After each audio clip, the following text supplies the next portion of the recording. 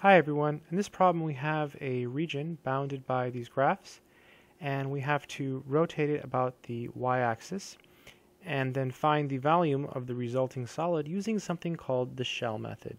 So let's go ahead and do a rough sketch of this region. So x equals 0 is just the y-axis, it's a vertical line. Um, y equals the square root of x looks something like this. Then it keeps going for a while However, we need to, we need to stop at 1 because x equals 1 is a vertical line and then y equals 0 is this horizontal line here. So we have this this region here and we're spinning it about the y-axis. Okay, so we're using something called the shell method. So in the shell method, the rectangles are always parallel to the axis of revolution. So when you draw your rectangle, it should be parallel.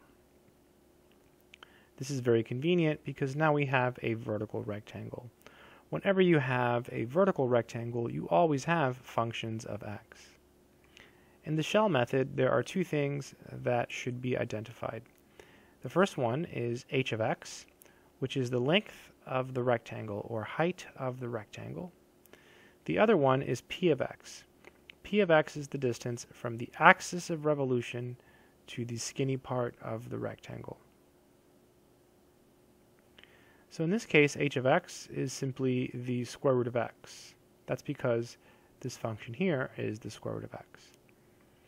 p of x will vary as we integrate with respect to x, and this distance here is simply x. So p of x is just x. So now we can set up the integral that will give us the volume. So the volume is equal to 2 pi, because shell has the 2 pi, we're going from 0 to 1, left to right, integrating with respect to x.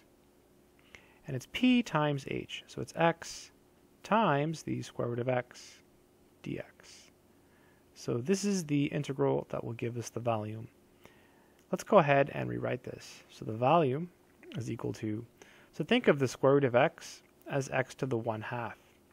So when you multiply it by x to the 1, we'll add the exponents. So this will be 2 pi times the definite integral from 0 to 1. So 1 plus 1 half will give us x to the 3 halves dx. Now we'll go ahead and integrate. So this is 2 pi using the power rule. So 3 halves plus 1 is really 3 halves plus 2 halves, which is 5 halves. So we get x to the 5 halves and when we divide by 5 halves, we really multiply by 2 fifths. And we're going from 0 to 1. So this is equal to 4 fifths pi x to the 5 halves, just rewriting it one more time for clarity, from 0 to 1. So we plug in the 1, so we get 4 fifths pi times 1 to the 5 halves minus 4 fifths pi times 0 to the 5 halves. But this is just 0, so, and 1 to the 5 halves is 1, so we just get 4 fifths pi. And that would be the volume and the final answer. I hope this video has been helpful.